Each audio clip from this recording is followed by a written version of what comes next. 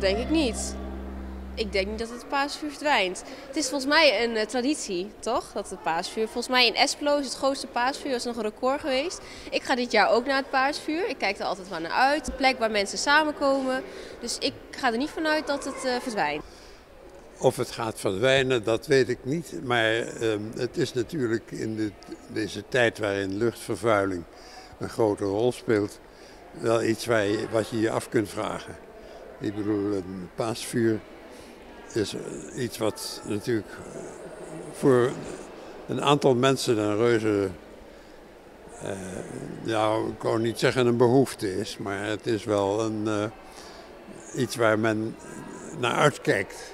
Omdat Pasen is speciaal voor mensen om te- om te vieren. Ik vind het hartstikke gezellig. Toch? Nou ja, de politiek zegt eh, ze mogen, de paasvuren mogen niet meer zo hoog zijn en Ja, ze stoten is- te veel stikstof uit. Ja, nou dat is ook zo. Maar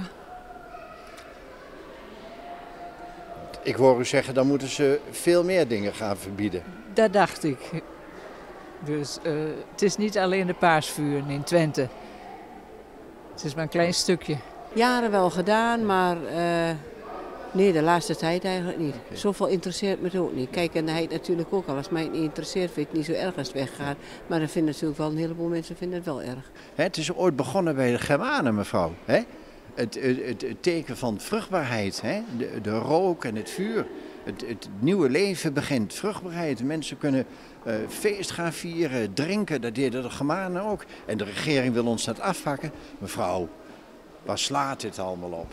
Dus eh, u vindt dat de tradities eh Ja, natuurlijk, we moeten ja. gewoon blijven. Ik weet dat er strubbelingen zijn met eh, wat betreft eh, stikstofuitstoot en dergelijke. Ik vind het een beetje symptoomgedacht. alleen het paasvuur. Het is meer dan alleen het paasvuur. De industrie, de auto's en zo. Ik, ik weet niet hoe dit zich verder ontwikkelt. Bonnen, op een gegeven moment waar ik vandaan kom, wordt die nog opgebouwd op dit moment.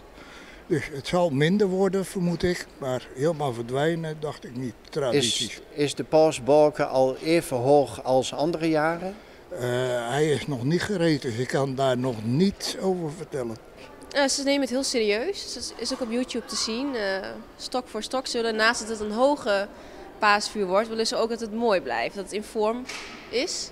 Dus eh, ze zijn er heel erg druk mee. Volgens mij nu al, staat hij al. Oké. En eh, wordt die even hoog als andere jaren? Dat weet ik niet. Want dat is een beetje de discussie. De regering die wil dat ze niet meer zo hoog zijn als anders. Oké. En dat ze ook niet te dicht bij eh, de de beschermde Dat natuurgebieden Dat moeten liggen. Dat begrijp ik. Zou het paasvuur als fenomeen, als verschijnsel speelbal van de politiek kunnen zijn op dit moment? Dat zou ik niet kunnen overzien hoor. Dus eh lijkt me geen punt waar de politiek een, eh, kan scoren. Is goed voor, speciaal voor de kinderen. Kinderen vinden het mooi. Ook voor de kleinkinderen, maar ook voor volwassenen. En eh, ik heb een speciale dag. En Jezus is ook gekomen voor mensen, zeg maar. Het is ook ellende in de wereld genoeg, vind ik. Dit Jezus is ook geboren. Paas is een speciale dag voor mensen. Gaat u zelf ook naar een paasvuur kijken? Jazeker. En wat beleeft u daaraan En als u vragen meerdere. mag? Nou, ik vind het heel gezellig. Het is... eh, Nou, dat, dat is ook wat ik probeerde te zeggen. Van, het is maar een symptoom van alle de industrie, Tata Steel, de vliegtuigen, dus, eh, nou, de auto's. En dat is alleen het paasvuur. Is, het is niet alleen het paasvuur, het is het geheel. En niet alleen, ze pakken nou één punt uit het geheel. Dat is mijn, mijn visie ervan. Ziet naar uit dat het geen traditie meer is als het verdwijnt. Ja, en dat vind ik ook volkomen redelijk. Dat, dat daar rekening mee gehouden gaat worden. Want eh, we leven in een tijd waarin we langzamerhand bewust worden van, ons, van het milieu. En eh, daar hoort dit zeker bij. Ja. Gaat u zelf nog naar een paasvuur kijken? Ja, ik ga kijken binnenkort. Ik ga weer aan Pasen. Ik hou van Pasen. Ik, en dat is ook speciaal voor mij gekomen. En Het Pasen is speciaal voor iedereen. Voor Nou. iedereen. Voor de kleinkinderen, ook voor volwassen mensen. Pa- kortom, het paasvuur moet gewoon blijven. Ik vind voor mij blijven. Eh, wie vertelt de waarheid? Hè? Dat is, dat is moeilijk volgens u. Ja, Ja. op een gegeven moment, als ik het kabinet op een gegeven moment met al zijn toestanden de laatste jaren, ook niet betrouwbaar meer, vind ik. Gaat u zelf nog eh, kijken naar een paasvuur? Eh, hij zit vlak, ik ken het zowat vanuit mijn raam bekijken. Dus Nou, dus dan zit u op de eerste rang. Oh, Ik zie het echt als een plek waar we één keer per jaar samenkomen en eh, genieten van het paasvuur.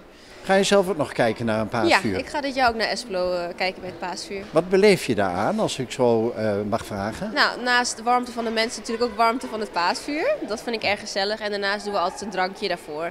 Dus ik zie het wel als even een uitje toegevoegd bij de paasdagen. En misschien heb je nog wel een goede paaswens op dit moment. Ja, die, die doe ik dan.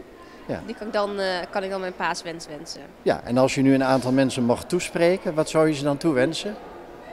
Ehm, heel, heel veel geluk. Ik denk dat eh, gezondheid is voor eh, eh, rijkdom is voor verschillende mensen een verschillende eh, definitie. Rijkdom zie sommige mensen als veel geld, maar ik zie rijkdom als geluk en gezondheid en de mensen waarvan je houdt om je heen. Dus dat gun ik iedereen, veel rijkdom. Ja, Ja. nog meer vragen? Paasvuren moeten blijven. Ik eh, ga nou patat halen.